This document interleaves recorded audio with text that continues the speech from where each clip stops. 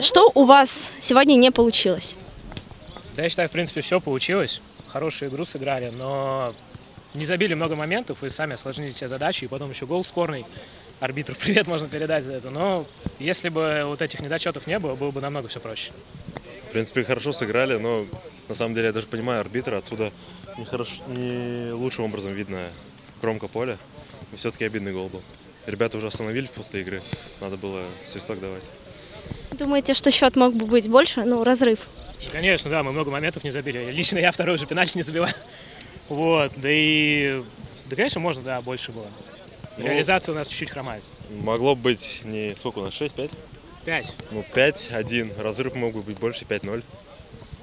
Тут рубрика «Вопрос по заявкам». Почему второй пенальти не забито? Да я не знаю, так получилось. Больше бить не буду. Да, Пусть след- бьет кто-нибудь в следующий другой. раз мне дадут ударить хотя бы раз. Дадим вратарю забить первый гол в сезоне. Где ваши болельщики?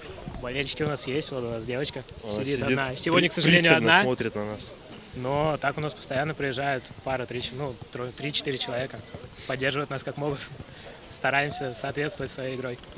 Можете передать привет? Да я не знаю, честно, кому привет. Маме хочу передать привет. У нее день рождения сегодня, поэтому, мам, поздравляю тебя с днем рождения. Всего тебе самого наилучшего. Я тебя очень люблю. Ну, я тоже поздравляю Андрея маму с днем рождения. Привет, кому привет?